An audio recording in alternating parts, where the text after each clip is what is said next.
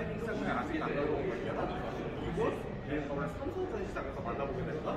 일단 경기를 드리겠습니다. 일단 이 모델로까지 보다는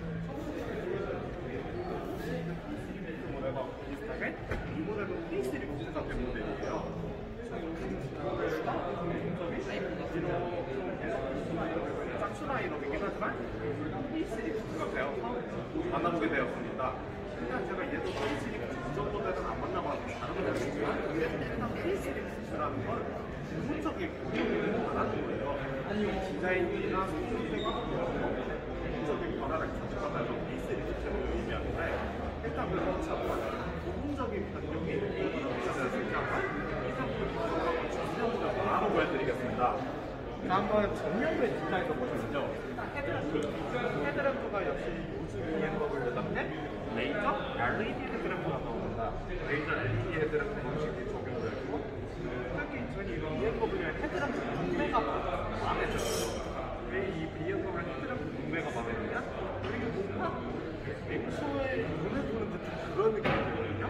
약간 이 BMW 헤드램프 디자인을 보면 약간 맹수의 눈을 보는 듯한 그런 느낌이다. 맹수가 무엇을 잡아먹을 듯한 눈빛. 그런 눈빛이 느껴지는 것 같아요. 그리고 또 이런 그릴도 보시면 지금은 그릴 flap이 막혀있지만 flap. 이런 그릴 flap이 막혀있긴 하지만 그래도 이게 엔진 시동을 끄면 이 그릴 flap이 열린다고 합니다. 일단 지금 그릴 flap이 닫혀있는 이유는 엔진이 시동에 걸려있지 않기 때문에 여기 라디에이터 그릴은 flap이 닫혀 있는 거고요. 일단 BMW의 전형적인 아이덴티티라고 할 수 있는 kidney 그릴 디자인도 개인적으로 매력적인 것 같아요. BMW만의 그 아이덴티티라고 말씀드릴 수 있는 kidney 그릴만 그리고 이 라디에이터 그릴 테두리에 이어놓은 크롬 포인트가 상당히 눈에 들어오니까 이 라디에이터 그릴 테두리에 들어오는 이런 크롬 포인트도 상당히 눈에 들어오나 그런 생각이 들어요. 이렇게 라디에이터 그릴 테두리에 이런 크롬 포인트나 그리고 BMW만의 아이덴티티 히든이 그릴 디자인은 그렇게 어색하진 않습니다. 요즘 그릴 점점 해서 많이 예전 BMW는 어색하다가 더 많이 있는데 이 BMW 630의 GT는 크게 어색하진 않은 것 같아요. 뭐 그릴 디자인은 딱 적당하고 딱 스포츠 느낌이 크게 어색하진 않습니다. 헤드램프랑 피칭으로서 비교해 봤을 때 그렇게 어색한 느낌은 안 들어요. 헤드램프랑 이 그릴 간의 대칭 디자인을 봤을 때 크게 어색하다라는 느낌은 안 듭니다. 그래서 이렇게 라디에이터 그릴이 있는 이유는 엔진 열을 식혀주기 위함이다 보시면 될 것 같고 그리고 참고로 전체적으로 후드 디자인의 캐릭터 라인 여기 쪽 한번 보시면 후드 디자인의 캐릭터 라인도 되게 볼륨감이 좋습니다. 이런 후드, 디자인의 이런 캐릭터 라인 또한 상당히 볼륨감이 있고요. 그리고 이 차 같은 경우는 후드 라인이 긴 만큼 이걸 후륜구동 차라는 것보다 그죠 후드 라인이 상당히 길다라는 건이차 또한 후륜구동 차의 속도를 맞춰줬다 그렇게 보시면 될 것 같고 그리고 이 차의 메리트는 바로 측면부예요. 한번 측면부를 간단하게 보여드릴 텐데 자 한번 측면부의 바디 라인이 역시 되게 매력적입니다. 이 630i GT만의 메리트는 바로 약간 fastback 느낌 나는 이 바디 라인이 매력적인데 솔직히 이런 fastback 느낌을 살려는 630i GT의 이 바디 라인이 매력적이다? 저는 이걸 생각이 됩니다. 630i GT의 매력은 바로 이 fastback 특유의 바디 라인 살짝 긴장해서 배워보면 일단 630i GT의 메리트는 fastback 특유의 바디 라인이다? 이렇게 보시면 될 것 같고 이런 먹을 때는 일단 이 모델은 M 패키지 옵션이 들어가 있습니다. M 패키지 옵션이 들어가 있는 것은 M 전용 스틸 브레이크랑 M 전용 휠이 들어가 있죠. 일단 M 패키지 모델이라는 건 확실히 휠에서 더욱더 강조해주는 느낌이 드는 만큼 일단 M 전용 휠에 그리고 M 전용 스틸 브레이크가 들어가 있고 그리고 휠 인 치수는 역시 진준형 모델답게 19인치가 들어갑니다. 여기 쪽을 보시면 R19라고 되어 있는 게 역시 19인치를 의미하는 거고 그리고 M 패키지라는 걸 의미하는 M 배지도 상당히 매력적인 포인트로 다가오네요.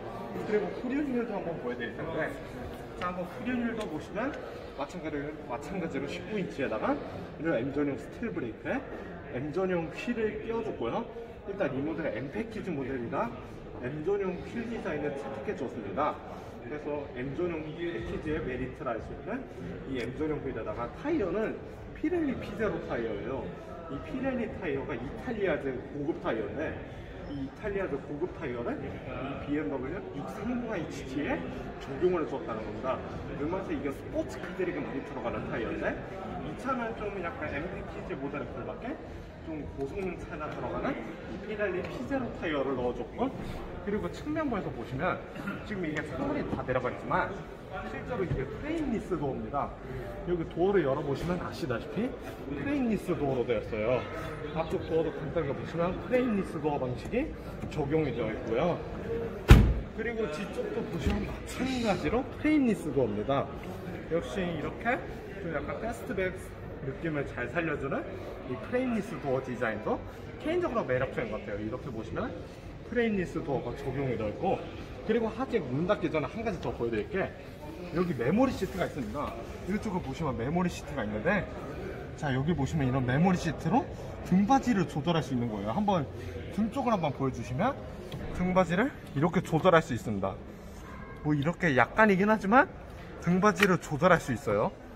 이 버튼 하나로 이렇게 등받이를 조절할 수 있다는 걸 알아주시면 좋을 것 같고 일단 이렇게 뒷좌석에도 메모리 시트 있는 거 개인적으로 마음에 들어요. 여기 시트를 눕히는 기능은 따로 없지만 이 등받이를 조절할 수 있는 기능은 개인적으로 좋다 생각합니다. 지금도 약간 등받이 조절되는 게 딱 느껴지거든요. 이렇게 등받이 조절되는 기능은 개인적으로 마음에 드네요. 자, 그리고 한번 후면부를 보여드릴게요. 자, 한번 후면부를 보여드리자면 일단 후면부의 디자인. 이 후면부의 디자인은 역시 fastback만의 전형적인 디자인을 보여줍니다.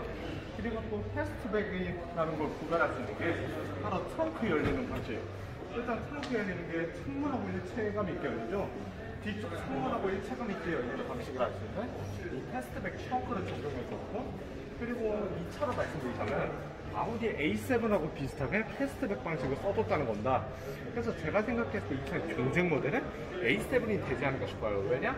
A7이나 얘나 둘 다 좀 스포츠한 성향을 가지고 있으니까 좀 둘 다 경쟁 모델이 되지 않- 않을까 좀 그런 생각이 들어요. 왜냐?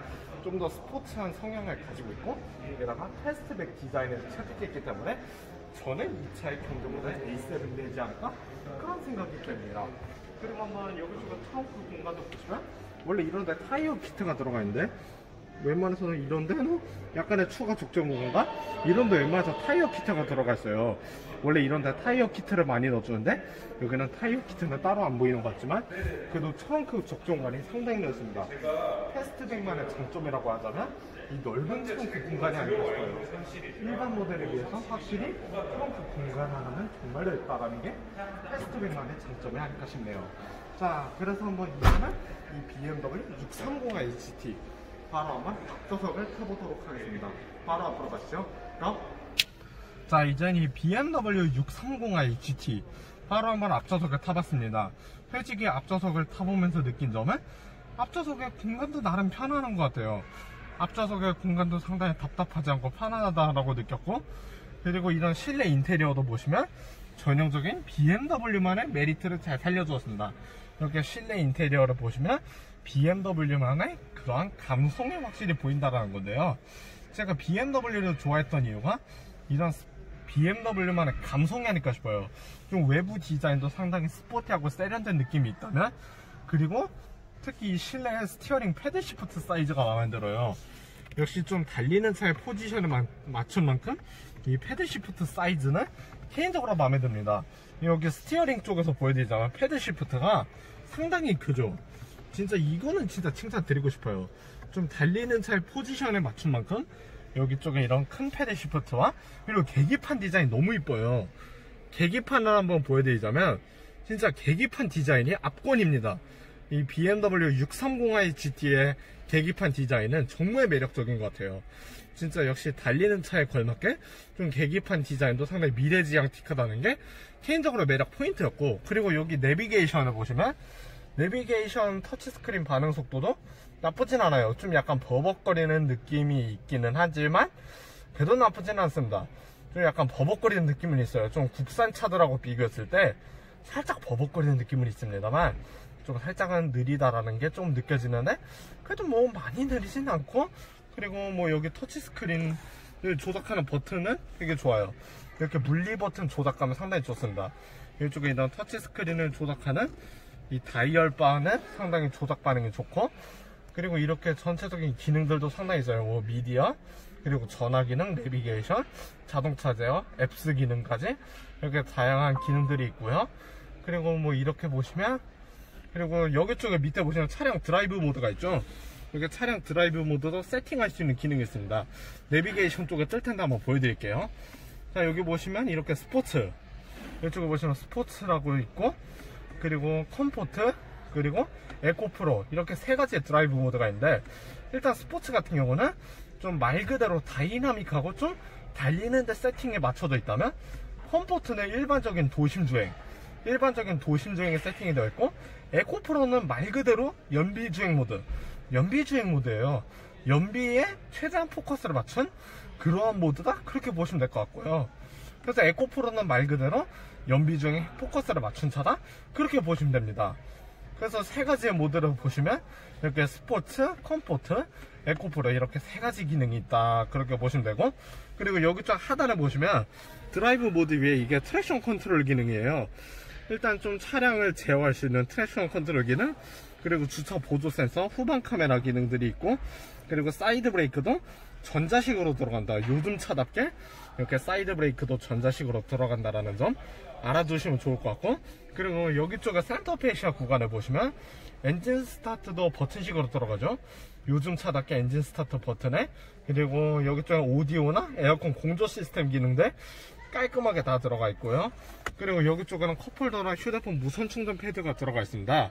그렇지만 좀 아쉬운 게 무선 충전 패드가 너무 작지 않나 싶어요 제가 개인적으로 느끼는 바인데 좀 무선 충전 패드는 너무 작은 것 같지 않나? 그런 생각이 듭니다. 좀 무선 충전 패드가 살짝은 좀 작다라는 게 좀 아쉽게 느껴지긴 하네요.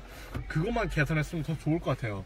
근데 여기 저 루프를 보시면 이렇게 썬루프가 2열까지 있죠. 비록 2열은 따로 열리진 않지만 이렇게 1열에도 있고 2열에도 있는데 상당히 2열 쪽 개방감도 좋을 것 같아요. 2열 쪽에도 이렇게 썬루프가 있다는 거 보면 상당히 2열에서도 볼 수 있는 이 개방감은 좋을 것 같습니다. 비록 2열에는 따로 열리진 않지만 2열에서 봤을 때 이런 배경들을 햇볕이나 이런 배경들을 볼 수 있기 때문에 어느 정도 개방감은 좋을 것 같다 생각하고요. 그리고 콘솔 박스 보시면 콘솔 박스는 뭐 그닥 없어요. 뭐 콘솔 박스 기능은 뭐 그다지 크진 않습니다. 콘솔 박스는 뭐 별로 안 크니까 이제 한번 이 차에 대해 한번 제 느낌을 말씀드려 보겠습니다. 일단 제가 이 차 타보면서 느낀 점은 음 뭐랄까요 역시 차는 역시 BMW는 BMW만의 그런 매력이 보이는 것 같아요 외부에서도 BMW만의 감성이 확실히 두드러진다면 이 실내 느낌도 BMW만의 메리트를 잘 살려준 것 같다? 전 그렇게 생각합니다 이런 실내 인테리어를 한번 보세요 이렇게 실내 인테리어 보여드리자면 실내 인테리어도 BMW만의 매력을 잘 살려줬어요. 전체적으로 깔끔하게 둘러보시면 BMW만의 매력을 잘 살려줬다? 전 그렇게 생각이 드네요. 자 그래서 한번 이제는 이 BMW 630i GT 한번 뒷좌석은 어떤지 뒤를 타보겠습니다. 바로 뒤로 가시죠. 고!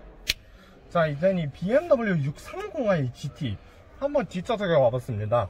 확실히 좀 스포츠, 스포티한 디자인에 비해 뒷좌석 공간은 정말 편하네요 진짜 스포티한 디자인이라 좀 뒷좌석도 불편할 거라 생각했어요. 상당히 측면부의 라인을 보시면 약간 C필러가 낮게 되어 있잖아요. 여기 측면부의 바디라인은 아까 보여드렸다시피 C필러가 정말 낮아요. 근데 반면에 C필러가 낮은데도 불구하고 뒷좌석은 편안합니다. 이게 되게 C필러가 낮은 느낌이 없다라고 할 정도로 정자세로 앉았을 때도 편하네요. 지금 제가 이렇게 정자세로 앉아 있어도 상당히 뒷좌석 공간이 편안하다라는 점은 개인적으로 정말 칭찬을 드리고 싶은 부분이고 그리고 여기 쪽에도 뒷좌석에도 기능들이 많아요. 휴대폰 충전 단자며 그리고 시거잭 있고 그리고 여기는 에어컨 공조 시스템 에어컨 공조 시스템 그리고 여긴 차량 온도 제어 기능들이 있습니다. 이렇게 뒷좌석에도 보시면 차량 온도 제어나 에어컨 공조 시스템 휴대폰 충전 단자 기능들이 있고요. 그리고 앞쪽에 인테리어를 보시면 역시 BMW만의 색깔을 잘 살려주었어요. 앞쪽에 인테리어도 보시다시피 BMW만의 색깔을 잘 살려준 이 실내 인테리어도 개인적으로 마음에 들었고요. 그리고 뭐 드라이브 모드에 따라 시트 포지션의 변화는 없지만 그래도 뭐 달리는 차에 세팅이 되어 있는 만큼 그래도 모드가 상당히 있다라는 겁니다. 스포츠면 스포츠, comfort면 comfort, 그리고 eco pro면 eco pro 이렇게 다양한 모드가 있다라는 것이죠. 그리고 여기 쪽에 armrest도 보시면 armrest에는 좀 armrest가 약간 좀 높게 되어 있긴 하지만 그래도 약간의 콘솔 박스 있습니다. 뒤쪽 armrest에도 이런 콘솔 박스, 뒤쪽 armrest에도 이런 콘솔 박스나 그리고 cup holder 기능들이 마련이 되어 있죠. armrest에 이런 콘솔 박스나 이런 cup holder 기능들이 있는데 이 정도면 진짜 뒷좌석에도 신경 쓴 것 같아요. 그리고 뒷좌석 공간감도 상당히 좋았고 그리고 음, 그리고 또 마음에 드는 게 진짜 legroom 넓이에요. 이런 legroom 넓이도 정말 넓어요. 손가락 한 뼘이 안 닿을 정도로 상당히 네그룹 넓이도 넓다라는 겁니다. 그래서 진짜 뒷좌석을 타보면서 제가 느꼈을 때 진짜 편하네요. 이게 낮은 C필러에 비해서 상당히 뒷좌석이 편하다는 건 진짜로 칭찬 드리고 싶은 부분입니다. 그래서 한번 이제는 이 차에 대해 토탈 평가를 하러 앞으로 한번 가보겠습니다. 바로 앞으로 가시죠. 고!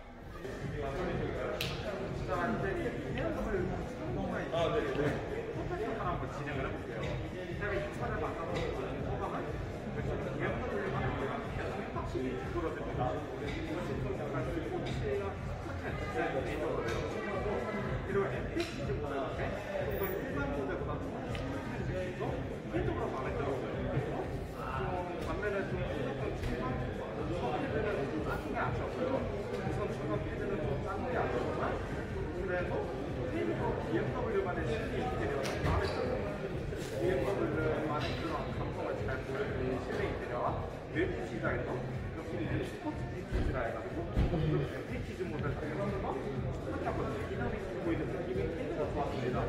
그리고 이 모델이 페이스리프트가 되었는데 이 모델하고 비교해서 페이스가 하나 안 좋다는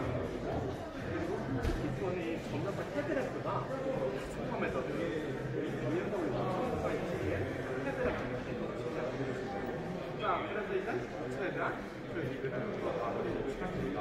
다음 번에 또 지금 페이지고요. 나온 것 같나요?